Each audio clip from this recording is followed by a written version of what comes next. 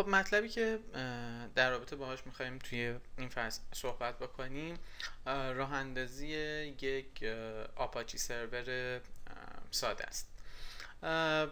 سرویس آپاچی یا Apache HTTPD یکی از web server های پرکاربرد توی سیستم لینوکس هست که شما می‌تونید package اون رو از repository دانلود بکنید و یک web server رو برای خودتون داشته باشید. راه انداختن سرویس Apache HTTPD چندان کار سختی نیست. شما کافیه که اون software ی که مورد نیازتون رو نصب بکنید. بعدش فایل configuration اصلی رو پیدا بکنید و تنظیماتتون رو اونجا اعمال بکنید. و بعد در نهایت یه سری محتوا برای web server تون فراهم بکنید که اون رو روی سرویس HTTPD تون سروش کنید.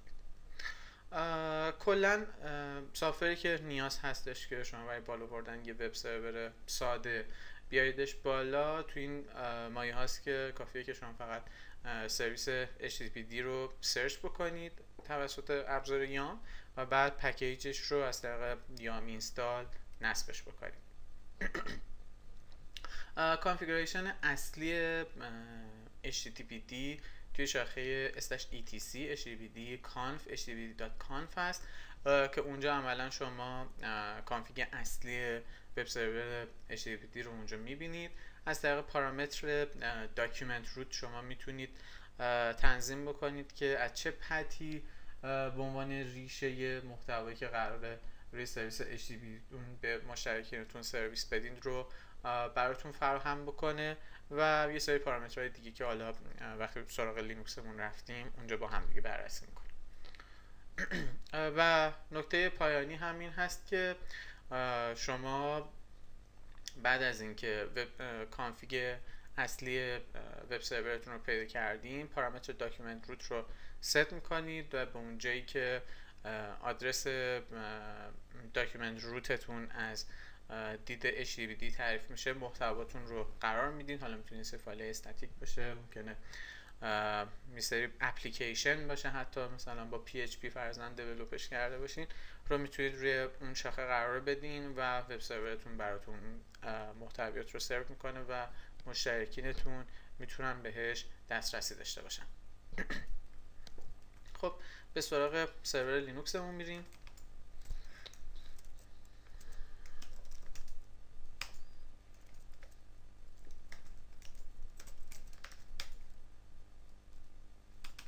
اول چک می‌کنم که یه وقت دیمنش دی از قبل نصب نشده باشه.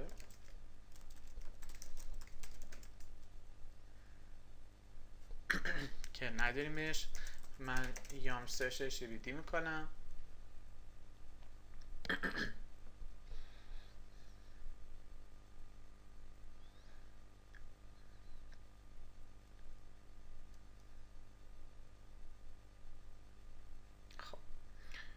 حالا لیست برنامه‌ای که با HTTPD مچ شدن خب تعدادشون کم هم نیست چیزی که من دنبالش هستم آپاچی HTTP سرور هست که پکیج رو انتخاب می‌کنم و می‌زنم هرچند همون یام اینستال HTTPD خالی هم بزنید هم خودش می‌فهمه و می‌تونه این پکیج رو برش نصب کنه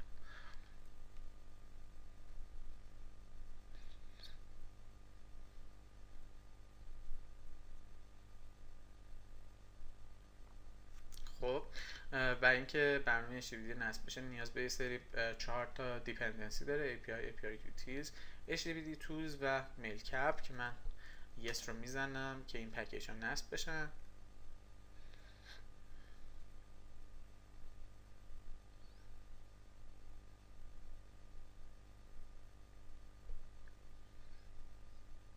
خب دیمن HTTPD نصب شد. من اگر تستر تیوپین رو چک بکنم می‌بینم که دیمن HTTPD تو حافظه نیست. برای اینکه دیمن HTTPD رو بیارم توی حافظه که وب سرور من شروع بکنه به سرویس دادن command system start HTTPD رو می‌زنم و اگر netstat tulpn مجددا بگیریم می‌بینیم که daemon HTTP با process ID 2353 داره روی پورت 80 روی تمام IP هایی که روی ماشین من هست گوش میده. این به این معنیه که من الان اینجا می‌تونم از روی کامپیوتر خودم اگر بتونم این IP رو ببینم که احتمالا می‌تونم ببینم بتونم به محتوای وب سرور دسترسی داشته این صفحه ای هست که صفحه تست آپاچیه که به معنیه که سرویس HTTP الان running هست و می‌تونه روی سرویس HTTP به مشترکین من سرویس بده. خب با هم یه نگاهی میندازیم به configuration HTTPD برنامه HTTPD رو برای اینکه ببینیم که فایل config ش رو کجا قرار داده می‌تونم به واسطه command RPM option QC سوال بکنم که package HTTPD فایل config ش رو کجا قرار داده. خب همونطور که می‌بینید لیست فایل configuration daemon HTTPD اینجا برای من لیست شده که من از اینجا می‌تونم انتخاب بکنم که این فایل config اصلی HTTPD رو باز بکنم و ببینم اونجا config به چه صورت است. config HTTPD به این صورتی که اکثر config هایی که شما نیاز دارید انجام بدید به صورت کامنت بالاش هم نوشته شده توضیح داده که چیکارا می‌تونید انجام بدین. هرچند اگر هم این مرتبه براتون کفایت نکنه می‌تونید خود سایت آپاچی مراجعه بکنید و احیانا اگه کار خاصی می‌خواید انجام بدید از اون طریق انجام بدید. خب الان همطور که می‌بینیم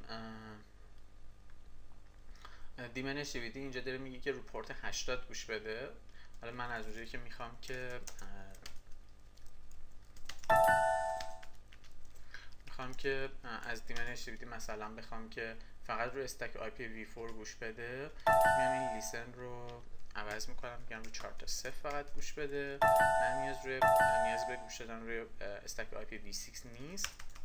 و من اگر اینجا نگاه بکنم می‌بینید که daemon HTTPD داره هم روی TCP v4 و هم روی TCP v6 که برای stack IP v6 هست گوش میده که حالا تیکه IP v4 رو نشون نمیده اینجا. ولی داره روش گوش میده. من می‌خوام فقط این روی stack IP v4 فعال باشه خب من config رو اعمال کردم. یه systemctl reload HTTPD میدم که یه message SIGHUP بفرستم برای daemon HTTPD که config خودش رو مجددا load بکنه. حالا اگر من tulpn بگیرم می‌بینید که خب این HTTPD جزء اون دسته برنامه‌ایه که با SIGHUP به مشکل می‌خوره. من به جای SIGHUP SIGTERM میفرستم و مجددا می‌خوام که daemon HTTPD start بشه. نگاه کنیم ببینیم. حالا میاد یا نه؟ که بله اومد بالا. الان برنامه HTTPD داره روی IP 4 تا 0 گوش میده روی استک IPv4 یعنی روی تمام IPv4 که من روی این ماشینم دارم الان دیمن HTTPD داره رو اون سرویس میده. نکات دیگه ای هم که وجود داره می‌تونیم مثلا http http.conf می‌تونم پارامترهای دیگه ای هم تنظیم بکنم. پارامتر زیادی اینجا واقعا برای تنظیم کردن از جمله اینکه daemon HTTP با چه user group ی وارد حافظه بشه؟ با چه سطح دسترسی؟ که اینجا user group آپاچی تعریف شده.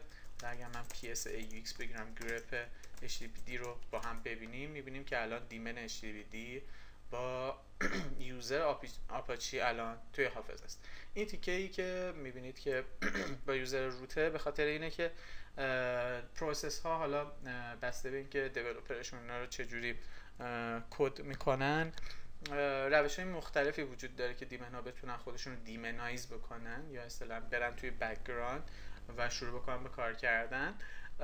یکی از روش ها روش forking ه که اول برنامه اصلی با دسترسی root وارد حافظه میشه. یه fork از خودش می‌کنه و بعد switch user می‌کنه میره توی فضای یک user دیگه مثل آپاچی بعد اونجا میاد کار اصلی خودش رو انجام میده که بر این اساس شما بتونید اون process رو محدود بکنید به اون سطح دسترسی که اون user معمولی داره. خب مجددا برمیگردم به config اصلی HTTPD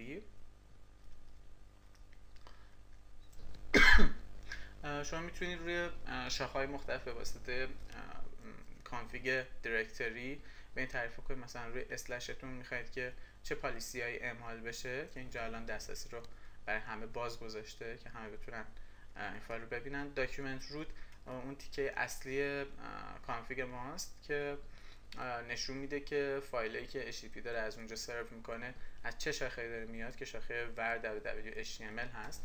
من اگر برم به این شاخه ور HTML اگر مثلا یه فایلی index.html درست بکنم. مثلا اینجا می‌تونم به زبان HTML بیام بگم که مثلا head title welcome to my page. Title مجددا.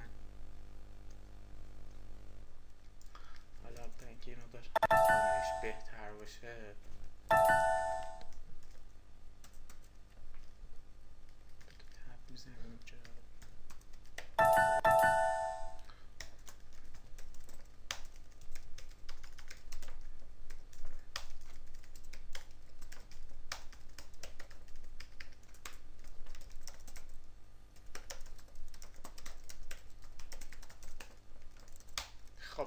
من الان اگه این صفحه رو ریفرش بکنم با توجه به اینکه صف... فایل index.html رو توی ریشه سایتم تعریف کردم این صفحه به عنوان صفحه دیفالت برای من باز بشه ممکنه من دوست داشته باشم مثلا یه دایرکتوری به اسم دانلودز داشته باشم که هر کسی اگر به شاخه دانلودز من بیاد بتونه اونجا دایرکتوری بروزینگ انجام بده. من الان اگر اینجا اسلش دانلود رو بزنم خب دایرکتوری بروزینگ پیش باید فعال هست و من می‌تونم بیام اینجا مثلا سری فایل بذارم که آدما بتونن فرزن دانلود کنن. مثلا یه فایل علکی درست می‌کنم داش ال مثلا یه فایل 10 مگابایتی مثلا به اسم test.zip خب الان من اینجا اگه ریفرش بکنم آدم می‌تونم بیان این فایل test.zip رو بزنن و شروع به دانلود. که الان دانلودش هم تموم شد. یه فایل بی محتوای صرفا فقط خواستم بهتون نشون بدم که یه فایل رو اینجا گذاشتم که آدم بتونه دانلودش بکنه. به این صورت. حالا اگر دوست داشته باشین که روی وب سرورتون مثلا ماژول PHP رو هم نصب بکنید که بتونین کد PHP هم روی وب سرورتون بزنید. می‌تونید از طریق یام سرچ PHP سرچ بکنید که چه ماژولایی برای PHP وجود داره. بعد اون رو نصب بکنید که بتونید توی وب سرورتون کد داینامیک هم داشته باشید. خب پکیج خیلی زیاده.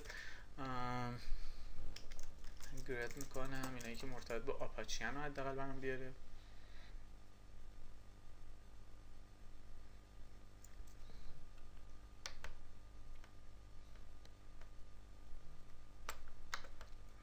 که بتونم history بیشتری از این command هایی که چاپ شده ببینم.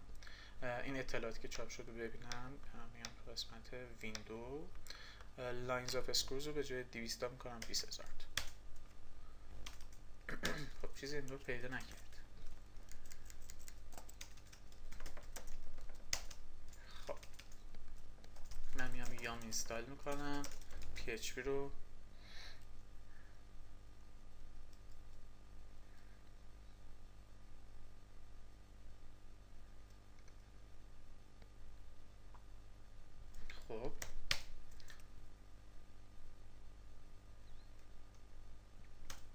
که چه چیزایی رو نصب کردیم این این پکیج خب می‌بینیم که اتفاقا شرد آبجکت PHP 5 رو نصب کرد و خودش هم رفت config file PHP رو به HTTPD اضافه کرد. از اونجاش که این یه فایل php.conf رو زیر شاخه conf.d گذاشته. من نیاز دارم که با systemctl restart HTTPD از HTTP بخوام که مجددا config خودش رو load بکنه. خب حالا اینجا مثلا میگم vim حمید.php مثلا PHP برای اینکه تست بکنم PHP هم داره درست کار می‌کنه یا نه. تابع PHP info رو با زبان PHP call می‌کنم برای اینکه ببینم که اطلاعات به صورت درست نمایش داده میشه یا نه. من فایل حمید.php رو ساختم. حالا اینجا می‌تونم من با command PHP اگر نصب باشه آره. می‌تونم همینجا حمید.php رو هم run بکنم و ببینم که درست parse ش می‌کنه این script رو یا نه. خب به نظر میاد که مشکلی وجود نداره. من میام به همین IP. میگم همین دات PHP. می‌بینیم که اطلاعات ماژول PHP رو به من اینجا نمایش میده. به این صورت. خب پس من به این صورت هم می‌تونم ماژول پی اچ پی رو روی Apache enable بکنم و بتونم اگر احیانا اپلیکیشنی دارم که با زبان PHP دیولپ شده روی وب سرور خودم هستش بکنم. خب این فصل هم به پایان رسید. من اینجا ویدیو رو به پایان میرسونم.